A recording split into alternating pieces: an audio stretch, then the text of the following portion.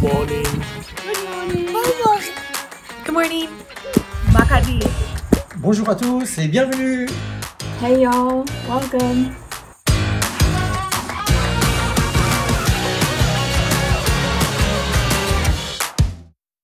Hey Redeemer, good morning. Welcome to our service.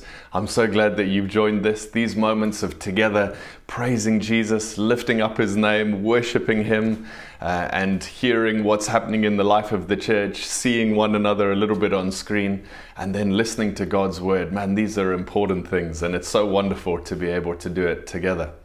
So, whether you're watching this morning and you're by yourself, or with your household, or with your family, or whether you're with your life group, you are so welcome. It's wonderful that you're watching. And in just a moment, we're going to uh, uh, have a time of worship, of praising God together. Normally, when we get together, we sing a lot. At this time, if you're in a group of people that you don't normally live with, and uh, singing together is not possible, that's totally fine. Uh, we, we worship Jesus in all sorts of ways, and it doesn't have to just be in singing. You can sing by yourself, you can sing in moments when it's with your family or your household, but you don't have to sing together when we have these services. And so, what I'd love us to do is turn to Psalm 23 together as part of our worship uh, this morning. I'd love us to look at Psalm 23. Ella is going to read it for us in just a moment, but I'd love you to have it open uh, with you on your phone, in your Bible, Psalm 23. And then after she reads it, you can just pause the video and by yourself with people that you're watching this with, why don't you just you, let the psalm help you to worship God? Pray short prayers of thanks of who God is and how He shows Himself in the psalm. Just pray from your heart. Doesn't need to be long prayers, but just have a few people leading out in prayers of praise and thanks. This is also worship, so don't hold back, go for it. And then when you finish that, you can press play again. And if you want to, you can sing if that's appropriate. There are a couple of songs, but if you're in a group and and uh, it's not possible or appropriate, just fast forward through the songs. That's totally fine, and get to the next part of the service. But feel it at home. You're probably watching from home. Feel relaxed this morning. God wants to meet with you. God loves you. God is for you. And what a joy it is to be in His presence. So let's look at Psalm 23 together.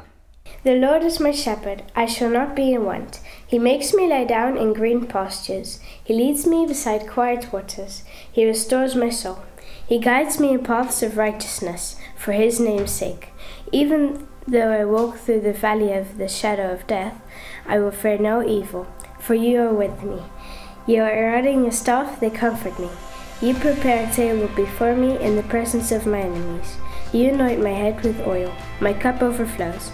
Surely your goodness and love will follow me all the days of my life, and I will dwell in the house of the Lord forever.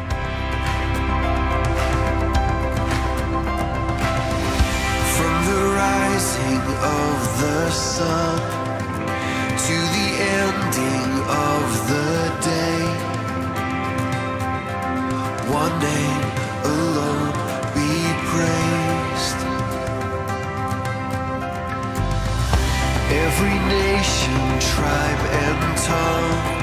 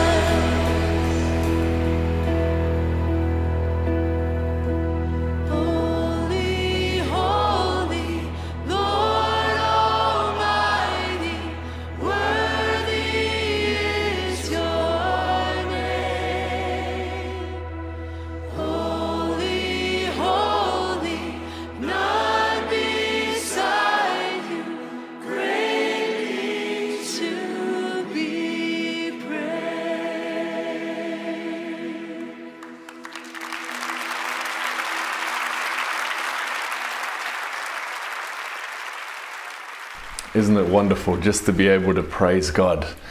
Let me pray this we finish off. Heavenly Father, we love you. God, we're so grateful for your amazing love and your amazing power. Thank you that we get to worship you, whether through singing along to YouTube songs or looking at your word in Psalm 23 and just expressing our thanks to you. God, we love you so much.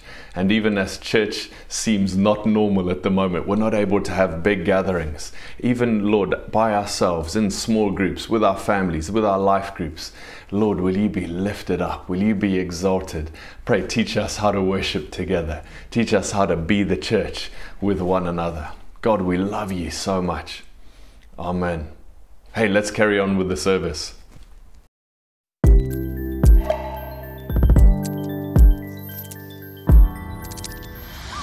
Hello everyone. Uh, today I want to share with you a testimony of how my mom uh, was healed from COVID-19 infection. So currently she lives uh, in Nigeria and towards the end of May she noticed that she was getting um, some illness symptoms and at first she dismissed it as just a normal malaria infection that could happen in that part of the world where they are. But later on, uh, she realized that it was a little bit more because she started experiencing breathing difficulties. So she was taken uh, to an isolation center um, uh, where she couldn't have any contact uh, with any of the family. And uh, it was a very uh, challenging time for her. Um, but God's hand was all over the whole situation. So when she arrived, between the uh, 24 hours after she arrived, there were actually three people that were wheeled out dead in the same room that she was actually in. And she was really scared for her life and worried and asked that uh, we pray.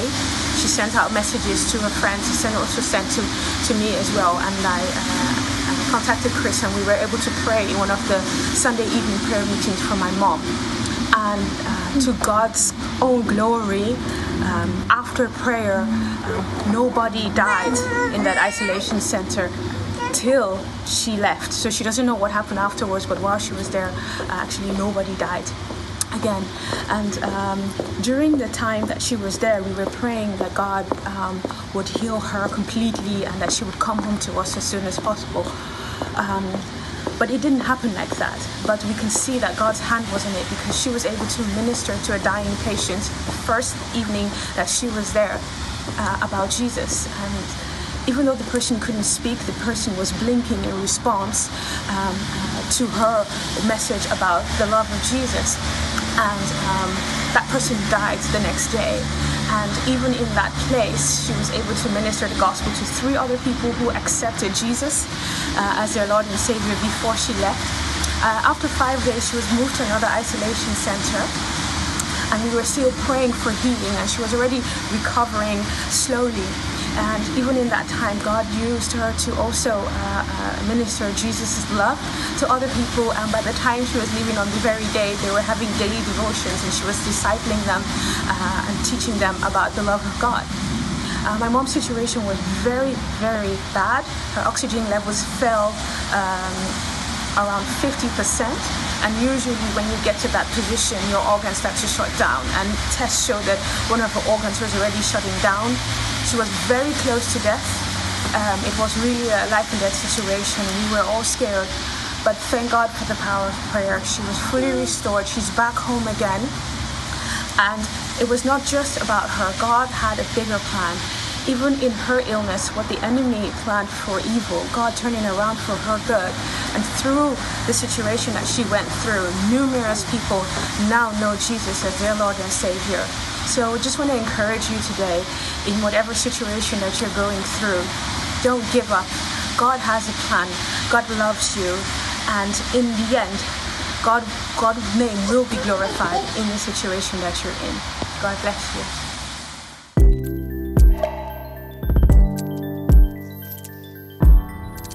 Good morning, Redeemer. My name is Catherine, and I have three notices for you this morning. The first one is a very exciting one, and that is that over the summer we are going to be hosting some social events. This is a great time to come together as a community, have fun, get to know each other, and get outside and enjoy God's beautiful creation. All the details for this were in your newsletter on Friday, or you can go onto the website and get all the details that you need there. If you are not able to join us physically, if you are not comfortable doing that yet or unwell, we would still love for you to join us online. We have a couple of events online. We're having a quiz evening and just some fun moments that we can still gather together, and we would love you to join us for that. Throughout the summer, we're continuing with our prayer meetings. Prayer as a community is a great opportunity to gather together before God and to give Him glory and worship and to hear from Him. And we have those on a Sunday evening at 8 p.m. And on weekdays, we meet at 8 a.m. for half an hour of prayer. And starting tomorrow, we are also going to be doing a lunchtime prayer gathering. That is at 12:45. All the details for these meetings can be found in your emails. So if you check them, all the details are there. And we'd love you to just gather together with us in prayer. Our last notice today is about giving. Here at Redeemer, we believe that part of our worship to God is to give, to give joyfully to Him. So if you consider Redeemer to be your home, we invite you to do that. And all the details of how you can give can also be found on the website. So if you go to redeemerchurch.nl forward slash giving, all the details for how you can give are there.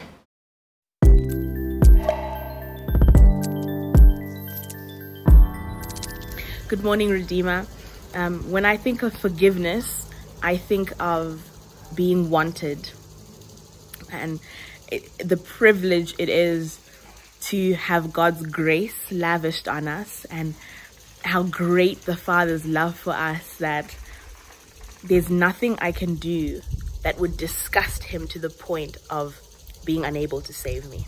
There would there's nothing I can do that could would dis, would lessen his power to save me and more than that there's nothing I can do that would lessen his desire to save me. And I think that's when you consider a love like that it it, it it, it does it does stir you up in a different way. It does do something to you. Um, that forgiveness, God's forgiveness means um, that I'm wanted, that you are wanted. I think forgiveness can be very challenging because it confronts you with your own pride.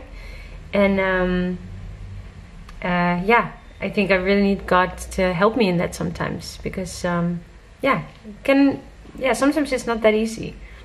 Forgiveness is something we hear about and talk about quite a bit. But to go over to action takes a little bit, it's not so easy, it takes a little bit longer. The offense that you take stays in your mind, and the longer you think about it, the bigger it gets. I argued with God, I defended my actions, but I was brought time and time again to the Lord's Prayer in Matthew 6. Forgive me my trespasses as I forgive others. And Luke 4 11 4 says, Forgive us our sins, for we ourselves also forgive everyone who has offended or wronged us. I knew I had to do it because I sin daily and expect forgiveness. I meditated, contemplated, and prayed for quite some time, but he did not want to be let go of me. I persevered because my relationship with God was important to me. Then one day, out of the blue, when I didn't expect it, it happened. My offense changed into love. And the burden fell off my shoulders. I was free to accept God's blessings and thereby release the other also to be blessed.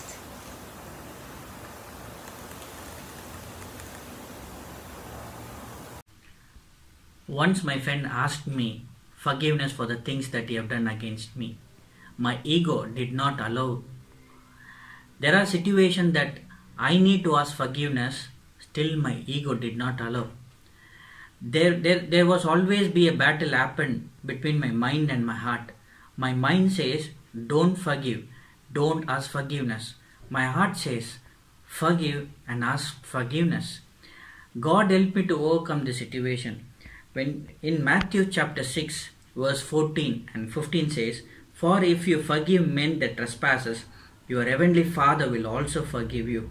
But if you do not forgive men their trespasses, neither will your Father forgive your trespasses. This is how God helped me to overcome the battle between my mind and my heart. De allereerste keer dat ik eh, Gods vergeving voor de eerste keer ervaarde. Eh, toen was ik 15 op een zomerkamp.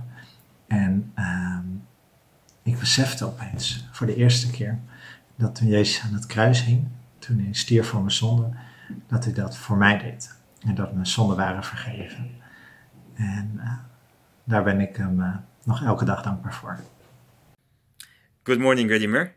Uh, 15 years ago, I accepted Jesus in my heart. Uh, I remember that night, the first thing that God did in my life was forgiving my father after many years. Uh, when I arrived home, it was 1 a.m. Uh, we had I had a chat with my father until 6 in the morning. That night, I noticed uh, that the hatred is replaced by love, uh, and I started to see God's changes in my life. praise the Lord.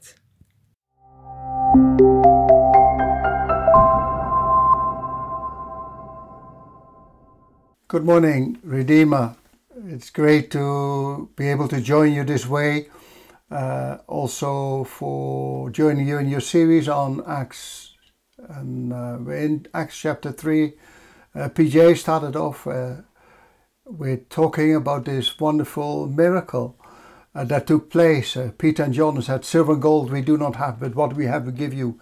In Jesus' name, stand up and walk. And the guy walks and jumps for joy and people are amazed. And then Chris uh, shared last week on how God uses uh, ordinary people to do extraordinary things by the Holy Spirit. How we do believe and see instant healings at times, but also the times where we pray for people and we do not see healing or healing yet. And uh, to have faith also, not only for breakthrough, but also faith to persevere and to battle. And today I'm going to take the second part of this preaching that Peter has, and um, we're going to read from verse 17. So if you got your Bible with you, um, then let's read from verse 17 onwards. It says, And now, brothers, I know that you acted in ignorance, as did also your rulers. But God foretold by the mouth of all the prophets, that his Christ would suffer, he thus fulfilled. Repent therefore, and turn back, that your sins may be blotted out, that times of refreshing may come from the presence of the Lord, and that he may send the Christ appointed for you, Jesus, whom heaven must receive, until the time for restoring all the things about which God spoke by the mouth of his holy prophets long ago. Moses said, The Lord God will raise up for you a prophet like me from your brothers. You shall listen to him in whatever he tells you. And it shall be that every soul who does not listen to that prophet shall be destroyed from the people. And all the prophets who have spoken, from Samuel and those who came after him, also proclaimed these days. You are the sons of the prophets and of the covenant that God made with your fathers, saying to Abram, And in your offspring shall all the families of the earth be blessed. God, having raised up his servant, sent him to you first to bless you by turning every one of you from your wickedness. This is the second sermon that is recorded addressing uh, the, the, early church. And the first sermon was uh, at the day of Pentecost, and here the second sermon. You would think that Peter would take the miracle as a preaching point, but he doesn't. He goes back to Jesus Christ and he puts him again center stage, like in the first sermon. And he starts off and says in verse 17, And now, brothers. So he's using the and now. And by saying it this way, he is saying this is a turning point, this is a, a pivotal point. It's not longer just for the crowd, for everyone's ears to hear. It is, but it is also for you personally. It is a heart searching moment. And he says, And now, brothers. Peter's got some challenging things to say. And he wants his listeners to know how he sees them, and he sees them as a family. And he says, This is close by. I, I want you to know that I love you guys. And his listeners are not so sure. They loved what they saw in this healing of this lame man. They loved the presence of God in the power. But they weren't so sure about this preaching about Jesus. Deep inside, it confronted them with stuff, and it was like a kind of war. There was going, a tugging war going on. They struggled with that truth. I don't know if you've ever been there yourself, you know. You see something and you're amazed in one way, but you're not so sure in the other way. I remember being brought up as a Roman Catholic boy. I'd never seen people raise their hands in worship. And I saw people, uh, masses of people at a conference lifting their hands in worship, and I was amazed. And, and but at the same time, I wasn't sure. You know, I saw this guy with his tears running down his cheeks in worship. I was so amazed. I heard people speak in tongues. I, I was drawn to it, but at the same time, I wasn't that sure. And here in Acts, we see people they'd grown up, being taught about the coming Messiah. And what they saw and had seen of Jesus wasn't actually that he fitted that bill. In their humble opinion, Jesus wasn't doing it. He was turning their religious view upside down.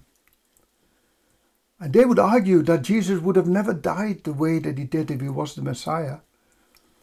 You know, he had come and it feels he had gone and he had not taken away the oppression by the Romans. You know, their view was so different. And he says, brothers, you know, at times we might have to say some pretty tough things to one another, things that would be challenging. And it's so vital to know that, that we are family. I love that with family. You can have these debates, but you do not fall out on one another. The question here is, is what were the challenging things that Peter was addressing the crowd with?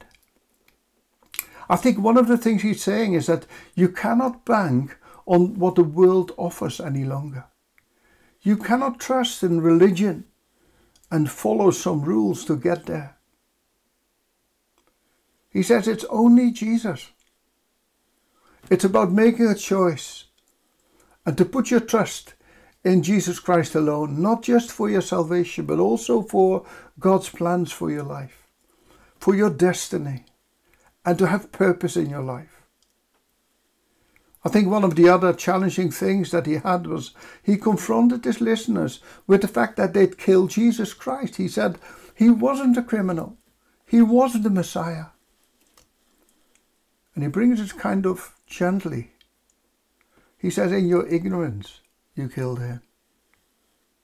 That's why Jesus, when he was hanging on the cross, cried out and said, Father, Father, forgive them for they do not know what they are doing.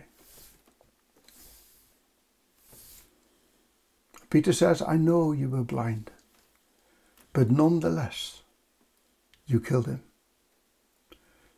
Ignorance doesn't make us faultless. Being ignorant doesn't make us right about anything. You know, to, to my shame, I must admit, I've been there a couple of times in my life. You know, I'm not a very good gardener. Well, I'm not a gardener at all. I do it. You know, and uh, once I'd been taking uh, all the rubbish out of the garden, at least I thought, and in my ignorance, I cut the, the plants and left the weeds behind. one moment, you know, not so long ago, you know, a couple of, well, year and a half ago, uh, I had cut of the two trees, remaining trees, I cut the wrong one uh, and removed it. And I must say, I did it in complete ignorance, but it didn't make me right. you ask Renee, and she'll tell you.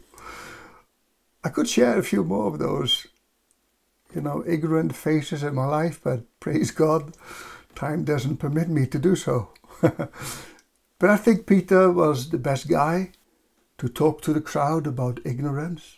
You know, this, this Peter who denied Jesus three times and he could not say he was ignorant. He knew. Jesus foretold him that it would happen, but you know, but he was the right guy to talk to them. And Jesus came to Peter and restored him there at that beach, you know, when they had done some fishing, they returned to the shore. And Jesus was there and he restored Peter beautifully.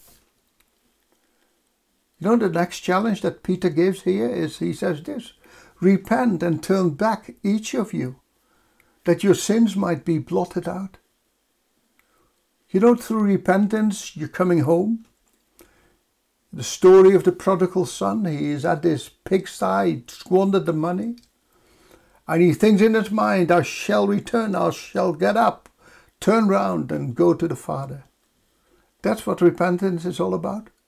You get up out of your desperate situation, you turn round, turn your back on the stuff, and walk towards the Father. Peter says, Turn back. And the turning back is best translated as flee away from it. Be desperate enough to no longer stay where you are. And someone said this the blood will only cover what we ourselves uncover. Jesus cannot help us if we are not coming. Those that are not turning, God cannot help. And repent is not so much about agreeing, it's about following. It says, God foretold by the mouths of all his prophets. So, what was this foretelling? The foretelling was that Jesus would come and that Jesus would suffer, that Jesus would die, and that Jesus would rise again. And Peter says all the prophets talked about it. How is it possible that man, many, many ages ago, decades ago, said stuff, said things that would only come to pass many, many years later? Well, the answer is this for mere man, that is not possible. But man moved by the Holy Spirit, for them it's possible. It says in 2 Peter 1, verse 20 No prophecy of Scripture comes from someone's own interpretation. For no prophecy was ever produced by the will of man, but man spoke from God as they were carried along by the Holy Spirit.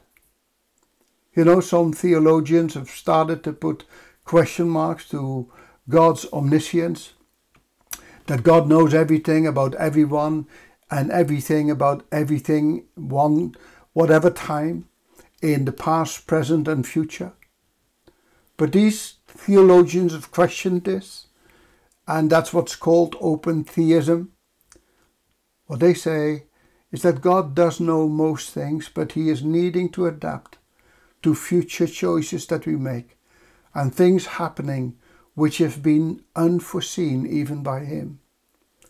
I'm not so sure, but they might even put this coronavirus crisis and uh, pandemic into that category, that God had not foreseen this. And as they see it, all these things have are dependent on our own free choices, and it's difficult for God, therefore, to know what we are choosing. And so the future is genuinely open and even unknown to God. So God, what they say, learns from what happens. He responds to what happens and he plans accordingly and adapts as it's been given and presented to him. And he has at times to change his plans, reassess what's happened and learn from the past and adapt it accordingly into this situation. And for those theologians, what they say is, well, that doesn't alter our general view of God Himself. Well, I think it does.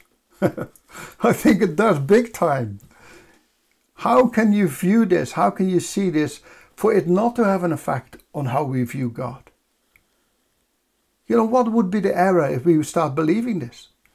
I think one of the things that would happen is we wouldn't trust God any longer as in being God and being sovereign. How can you trust God if He's no longer the unchangeable one? If He becomes the great adapter, if He becomes the great improviser, He's no longer sovereign. And it will most definitely have an effect on how we think and see our lives for the future. You know, it, it has an effect on the way we pray. You know, how can you pray and leave everything in God's hands? It'll have consequences on our times of worship. How can you worship a God who doesn't know what's coming next? And believing this doctrine will make us rely much more on ourselves. We rather take things into our own hands than leave them in the hands of a God who doesn't know. You know, it will, we will increasingly rely on our own abilities and our own gifts. And John Piper says about open theism open theism dishonors God, distorts scripture, damages faith, and if it's left alone and by itself unchecked, it will destroy the church and the lives of people. I love what it says in Ecclesiastes 3, verse 11 that He, God, has made everything beautiful in its time. Also, He has put eternity into man's heart, yet so he cannot find out what God has done from the beginning to the end. We have eternity in our hearts, but we have no way of finding out the beginning from the end. But God, praise God, He does know. He knows everything about our tomorrows. And what God foretold is also what God fulfilled. Not only does He know our history and history in advance, He creates it, He's involved in it, He makes history. He's not just creator God, having created it and leaving it up to us. He isn't sitting in heaven and waiting till everything unfolds. No, he isn't. He's not watching us as a kind of a spectator. He says in Hebrews, chapter, uh, Hebrews, he says that um, as we have such a cloud of witnesses, let's press on, let's run the race. We are one another's spectators. We are watching and cheering one another on. But he's much more than that. He's involved. He's the potter. He's molding us and shaping us.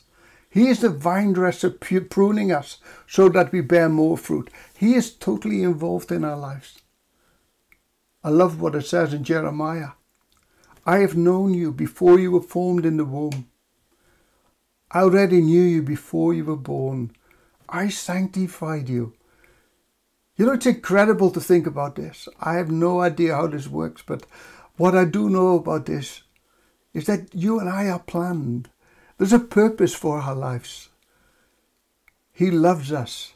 He is filled with grace over us. Peter tells about these prophets, also that these prophets spoke about two other moments that would happen, two other times. In verse 20 and verse 21. I'm going to finish with that. He says there will be times of refreshing and there will be times of restoring everything. You know, that last thing might take a while. The restoring of everything. That is when Jesus comes back. When that will happen, we don't know. The Bible says that the Father's kept this time to himself. But before that time, you and I can enjoy times of refreshing. When you come to know Jesus, this is a time of refreshing. It's already there. The promise of refreshing is that we are receiving the Holy Spirit to refresh our souls and to refresh our spirits.